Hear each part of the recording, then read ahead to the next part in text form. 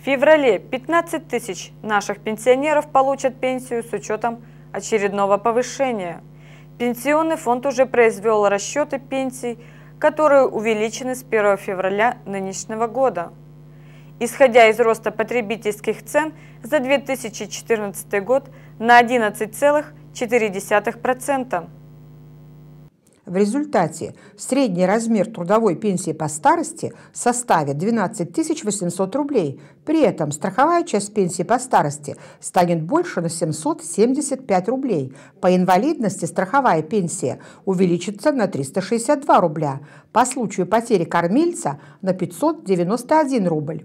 С 1 апреля ожидается дополнительное увеличение трудовых пенсий с учетом индексации роста доходов Пенсионного фонда России в расчете на одного пенсионера за 2014 год.